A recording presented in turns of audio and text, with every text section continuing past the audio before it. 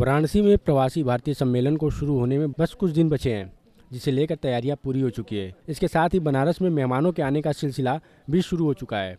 बनारस आने वाले प्रवासी भारतीयों के श्री काशी विश्वनाथ मंदिर तक पहुँचने की व्यवस्था से लेकर मंदिर में दर्शन पूजन और अन्य व्यवस्था की विशेष प्लानिंग मंदिर प्रशासन ने की है। काशी विश्वनाथ मंदिर की तरफ़ से हमने पूरा प्रयास किया है कि हम उनकी आध्यात्मिक यात्रा को बहुत सफल और सुचारू रूप से कंडक्ट कर सकें। इसके लिए हमने पूरे बनारस शहर में लगभग नौ जगहों पर अपना हेल्प डेस्क इस्टेब्लिश किया है। जो टेंट सिटी है टेंट सिटी में भी हमारा हेल्प डेस्क सेंटर होगा और वॉल्टियर्स होंगे जो लोगों को काशी विश्वनाथ मंदिर का दर्शन करने के बारे में जो सूचना चाहिए होगी वो अवगत कराएँगे। हमने चार छोटी बसें और चार जो छोटे ई रिक्शा हैं उनको हायर किया हुआ है। उनकी ब्रांडिंग इस हिसाब से की जाएगी कि उसको दूर से देख के पता चल जाए कि काशी विश्वनाथ मंदिर की बसें हैं।